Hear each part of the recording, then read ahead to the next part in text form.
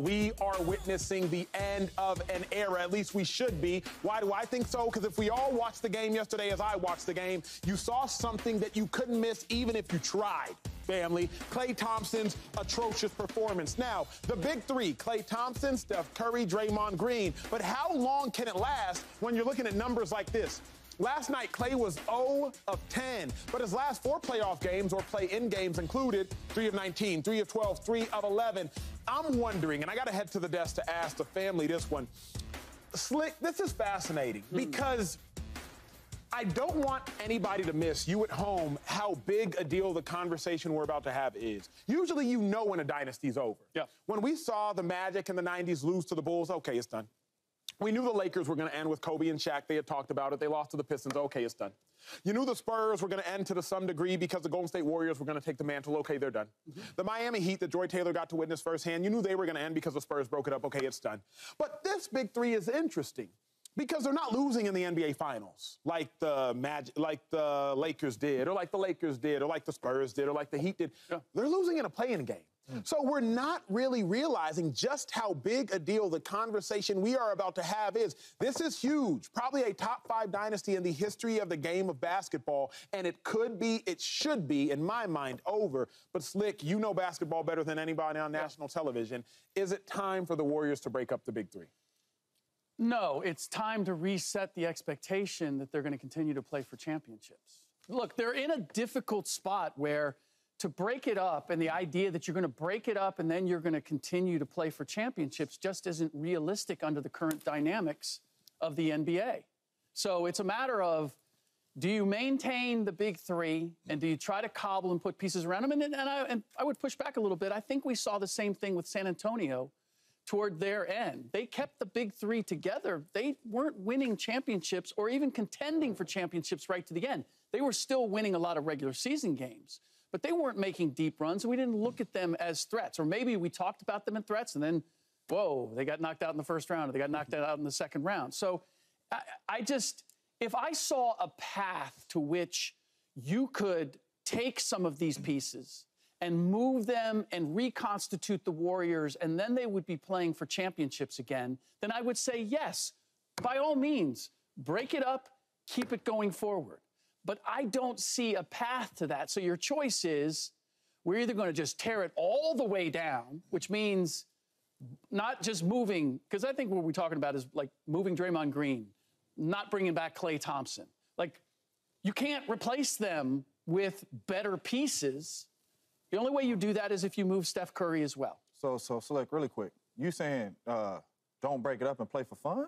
That's what it sounded. Like. I, I am saying Yes, I'm saying enjoy, enjoy these three still being together. Okay. Enjoy, uh, enjoy the fact that they are still going to be competitive. They can still look.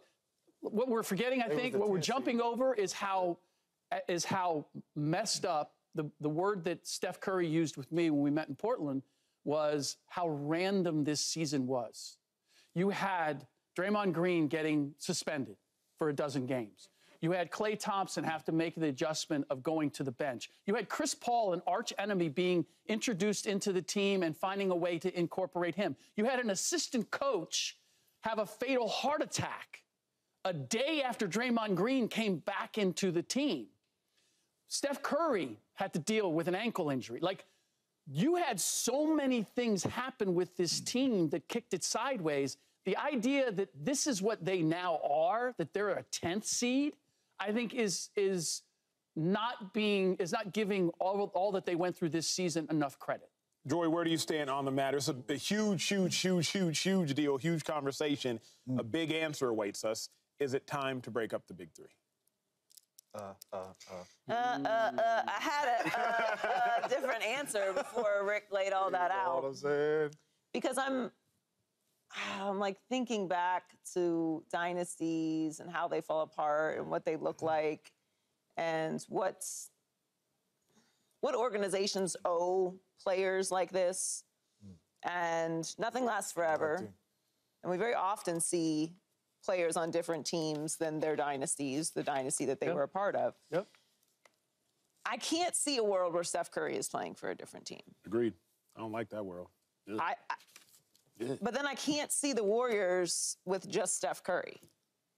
So I, I'm, I'm Steph Curry can't see that. I, I agree. So I'm, I'm sort of in the in the middle of it where I don't necessarily think that they need to blow it up or, or, or break apart the big three and send Klay somewhere and send Draymond somewhere and try and find a new way to put together a championship winning team around Steph Curry. The more I say that, the less it makes sense. Hmm. So I do think that they need to retool. They need to take a deep look at the at the roster, at the role players, at what their future looks like. What are the options here? Who do we need to bring back? Who do we need to go out and look for? Is there another move out there on the market that we could potentially be in play for? And I don't like the idea of playing for fun, but I also think that expectations need to be realistic. And we often do this. We do this a lot with a lot of great players where just because they were once at some point where every single year we expected them to be in the final. Okay, who, who are the Warriors playing this year? Yeah. But we also have brains that can process that time is a real thing and that no dynasties last forever. So we don't have the expectation of them competing for a championship every single year. We just don't. We don't. We actually do So not. So then what is it? I'm confused. I'm, conf- I'm, gen- you con- I'm confused. And the only reason I'm confused is because I'm, I'm curious. It's like, well, what are y'all saying? Because over? we're saying You know what I'm saying? I'm saying that you two are say. greedy. That's what I'm saying. That's fair, but I, I, I, well, let me elaborate on my confusion in case y'all at home too are confused. Because it sounds like we don't want the Warriors to be playing for fun, but I feel as though the advice that you all are lending is very much so a, hey, play for fun, lower the expectations. Y'all aren't going to be able to compete, but don't break up the big three I- because I don't think that it's I'm not that they won't be able to compete, but competing for a championship and competing are two different things. Yep. And we hold lots of teams to very, very much lower standards than we hold Steph Curry and the Warriors to all the time. We, we think it's nice that this team has this has this run, that this team has won a couple playoff series. And, and we, we really never move them into, well, they should be competing for a championship now. So we, we have the capacity to have realistic expectations for organizations all the time. Not for not for people that accomplish what they have accomplished though. That that's my only thing. If this is Jimmy Butler and the Miami Heat, sure. Hey. These dudes have won four of these things. And now we saying just four of these things, let's go back to being regular. Mm-hmm. And let's get back into the into the into the play-in game. This has been three out of five seasons they have missed the playoffs. Did we watch that game last night? We did. Yeah. Because them young boys was a thousand steps faster than the Golden State Warriors. Okay. I'm watching the game like I, I was on TV yesterday and I said, no, Slick, do not blow this thing up. Keep the when I watched that basketball game yesterday, the Warriors cannot compete with them three on the court. Them young fellas was a step ahead of them. Ripping Steph, Klay couldn't get open. He trying to come up. That- It was just pure dominance without two of the Kings' best players, and you almost got routed by 20 plus in a must-win game. Hmm. So for me, they have four championships together. Mm-hmm. There is no plan for fun. Every time the Golden State Warriors put their jersey on and, and the season starts, it's about winning a championship. How can we get that done? With this big three that they have had with a lot of success, it is not going to happen. What can we do to be able to help Steph Curry? Because he's one of the few ones on that team still playing at a high level, even though he's up there in age. But how he- can we help him and put uh, uh, together a team to help them win a championship? If if Steph was all that, then why wasn't Steph all that last night? we'll get there. I mean, we'll get, there. We'll get there. I mean, his, his other friends play worse than him. And, and by the way, by the way, you, you're the one who said that they're, they're playing for fun. I think they're playing for a little bit more than that. We get to see them see how good they can be as they shut this down, as they go forward. And it is a matter of well, what, See, why hold on we- real quick. I, we're just translating, in my mind, we are translating into athlete speech what we're hearing from you. Yeah. You did not say the Warriors are playing for fun. I would never say that if y'all are just now tuning in. You didn't say that. But to say that, like, the Warriors should lower their expectations and the expectation should no longer be competing for championships, I interpret that as, oh, so I'm just out here running and jumping. Yeah, no. That's how I interpret The that. Warriors should not. The Warriors should not. But that's what it is. We all should. Like, there's an expectation now that they're supposed to play for championships every year. What? How do we put that? uh, Do we put that expectation on any other franchise? They've least done be- more. At least be in the playoffs to But it- have a But, chance. but, but, but like time and wear and tear and role players' performance and all of the other factors that happened this year also matter. They do. Like Yeah. True. what, what happens True. several years ago is important. So wouldn't but you what's change it? happening now also matters. So that's what I suggest, though. If Right. time matters, then let's change time but because the players what, are what- old. Changing time to who? So To you're ta- saying just uh, get rid of Klay, get rid of Draymond, and then build a championship team around, Steph. Steph Curry? I, I agree with what Charles Barkley said yesterday on the broadcast. He was like, Klay can get paid less, but he ain't gonna get better. Right. So th- th- that's my dilemma. Like, and and let me try to speak of it like this: I hold greats to Yeah. great standards. And I believe that the Warriors have a top five dynasty in the history of basketball, behind probably the 80s Lakers, the 90s Bulls, the Spurs from 2000 to 2014. You can say the early Lakers as well. You want to bring up the Heat or whatever you think. And I'm sure I've missed several, maybe the Celtics in there as well. But I believe that the Warriors have a top five dynasty. Whenever those three plus their coach step on the court, I expect greatness. Whenever Tom Brady and Bill Belichick stepped on a football field, I didn't care about the age. Yeah. I've seen them do great things. Whenever Pop and Duncan was on that basketball court, I've, I've seen great things. I never, ever, ever thought I would see Tony Parker in another uniform. I'm a Dallas Mavericks fan. Tony Parker ended so many dreams and hopes of mine. But then I was like, wait, is he playing for Charlotte? Yeah. Is he? Is that Tony Parker? So, so- it could happen for Klay. You know what we're talking about is is we're talk, we're really talking about the horse is already out of the barn, and we're and because they had a chance to reset this on the fly. They Mm-hmm. had the number one pick for James Wiseman. That didn't work.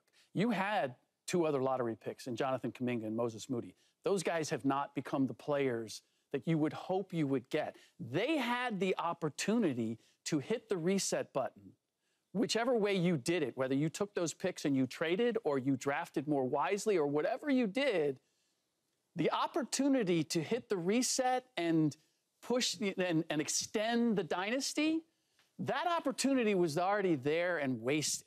So the idea that you're going to do it now by moving, I mean, we're not the only ones who watched last night. course. The rest of the league saw Klay Thompson last night. The rest of the team, saw, uh, the rest of the league saw Draymond Green get three rebounds in 35 minutes. I got a, I got a question for the left side of the table based on what you're saying. I'll start with you, James, and enjoy. Very interested in you rolling after that.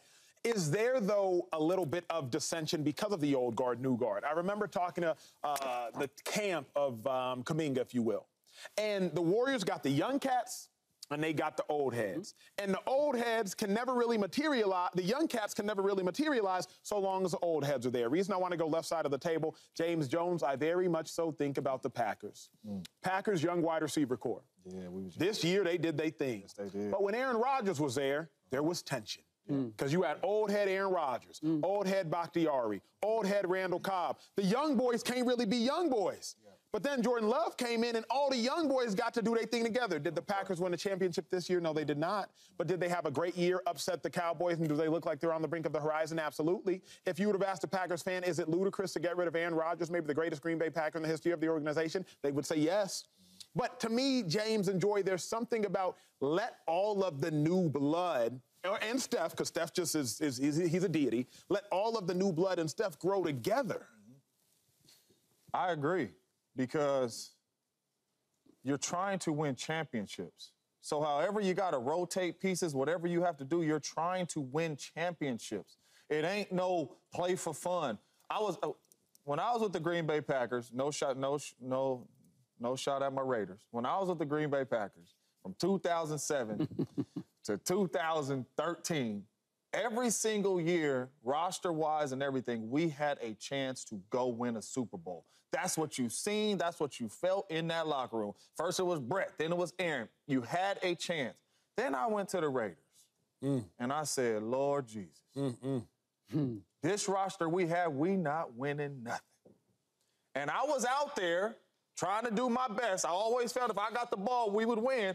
But at the same time, I'm like, team wise, we not built to win no championship. Just don't get hurt, JJ. Just don't get hurt. You know, see next year. So for me, it ain't no fun in that.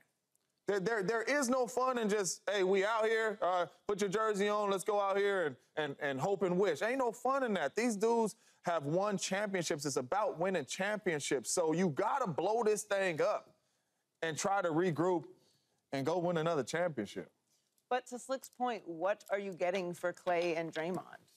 Like if you're talking about building a championship around a championship team around Steph Curry, you need to be able to have the pieces and assets that are able So to do maybe that. it's maybe it's them young picks. Maybe it's the Kumingas and all that that you deal and try to go get you a big Okay. time number two player with Steph Curry. Yeah, but that's not blowing up the three. Uh, three. And I and here's Well, the thing. Well, Steph ain't So- going nowhere. but- When I say blow up, I mean the big three. Understood. But you said you went to the Raiders and you saw, oh, I, I can't win with this. Championship. Yeah. Steph, Klay, and Dre still believe, still believe this year, in spite of everything that happened, you know what? We can still get it done. Now, you can question whether they're in their right mind or whether they're being sentimental or whatever it might be, but it's not like Steph or any of those guys are looking around and going, we don't, we, we can't get it done. Question for you. I don't know if I believe that. Now, you know Steph Curry. Hmm. Uh, I know Steph Curry. Not in, in uh, socially, we've exchanged conversation. I don't know if I believe that because I don't know if Steph can go back and watch the tape. Yeah. I don't know if Steph can be like, Klay went 0 for 10. Then he went 3 for 19. Mm-hmm. Then he went 3 for 12. Then he went 3 for 11. In the last four playoff and play-in mm-hmm. games, mm-hmm. As is Steph loves Klay, and love isn't just like blinding; it's deceiving. Yeah. So he ain't gonna say it, but I just don't know if I believe you. I, I think Steph knows I cannot win like this. No, I don't. I think he knows he can't say it, and I don't think he'll ever say it. And maybe it's head knowledge and not yet heart knowledge, but I don't think Steph truly believes he can win like this. I think what has changed, what changed it was the way they won the 21 22 championship. Because the Warriors had fallen off a cliff. It was mm-hmm. the, the, the, the dynasty was supposed to be over and was over for two years. And they weren't the favorite. They weren't the favorite going in into the 21 22 uh, postseason. And then they win a ring. and so when you do, that could get a bucket too. well, okay, but but I'm just saying. Look at the pieces that came. Andrew Wiggins had never won anything. yeah. It Jordan was Poole had never won anything. It was very surprising, Like, yes. the the idea that hey, our culture, if we bring the right guys into our culture, we can be That's true. champions. That is true. The fact that they believe that, I understand why they do because they just did it two years ago where you're looking at it and going, they brought guys in who weren't champions who suddenly became champions. Maybe if we can just get the right one or two more guys and we don't have all of the chaos and issues and tragedy that we had this season, maybe there's one more there for us. Subscribe here to get the latest from Speak and go watch a few segments from our other shows on FS1.